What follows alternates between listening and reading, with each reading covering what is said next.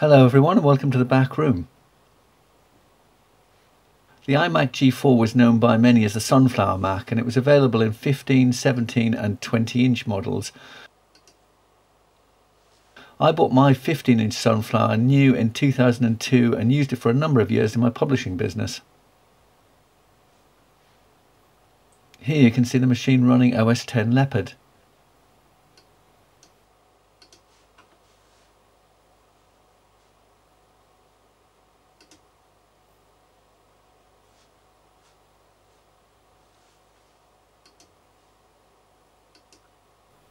But this sunflower hides a secret, and if we take a look around the back, we'll see what it is. In the rear, there's an HDMI port and a 4-pin Molex socket, and what you see on the screen is provided by this 2010 Mac Mini. Of course, having read the title, seen the thumbnail and clicked on the video, you probably expected it was something along these lines. The Sunflower was still going strong until around five years ago when it stopped working and closer inspection revealed that a number of chips had blown.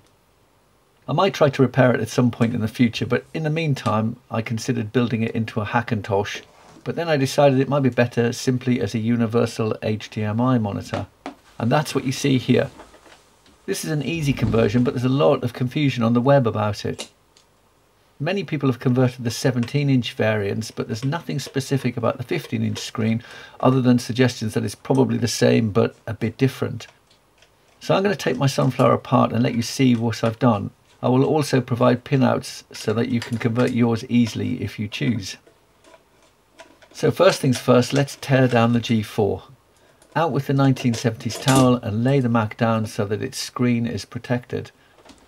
Apple's service document for this machine shows a jig being used to hold the computer safely, but you can manage quite well without that. The base plate has four crosshead screws and is intended to be accessible so that users can upgrade the machine's RAM. To go further you'll need a Torx bit to undo the four screws and remove the bottom half of the case. Once inside you'll see the motherboard is attached to the base and above it in the dome is the hard drive and the optical drive.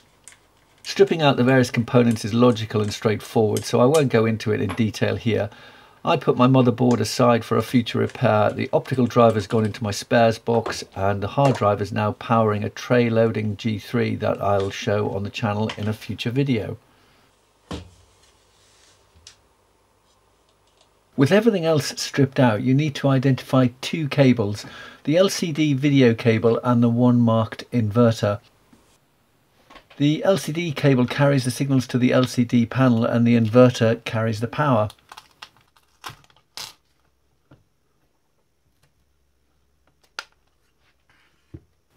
The LCD cable has a proprietary plug which attaches to the motherboard. Don't cut this plug off, instead pry it apart carefully with a small screwdriver to free the inner plastic part and then peel back each of the plastic tabs on this using a safety pin.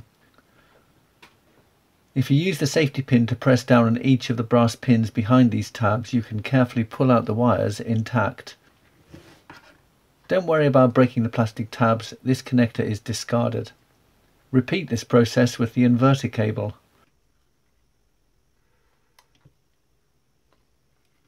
If you try to solder these pins, they uh, can introduce sparkles into the picture. The best way to hook up these signals is to use an HDMI breakout plug or socket, and I elected to use a socket, and you can see it here. Once you have the wires free from their housings, strip the outer insulation from the LCD cable.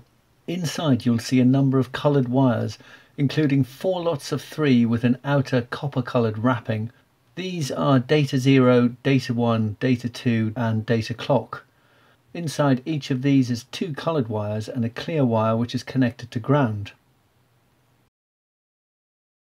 All you have to do is use the pinouts here to connect each of the pins and the job is done.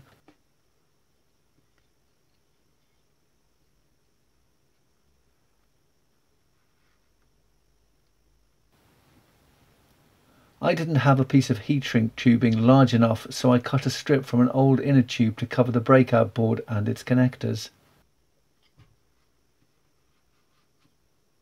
Be aware the pinouts available on various websites are incorrect.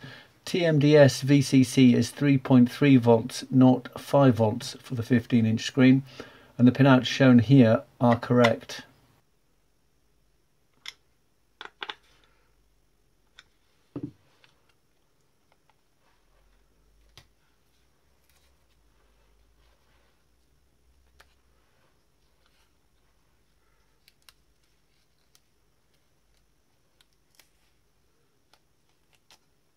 I used a 4-pin Molex socket and power the screen from an old ATX power supply.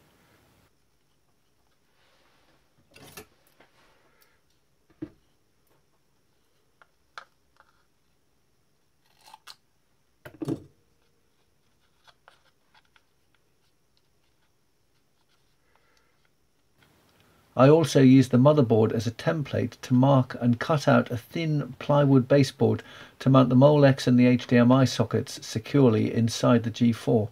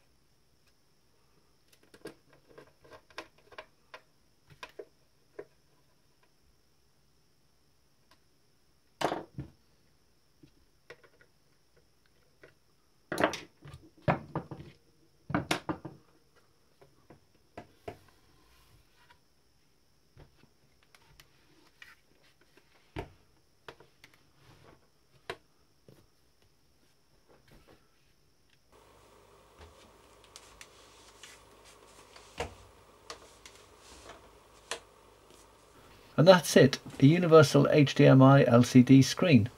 Thank you for watching and see you next time in the back room.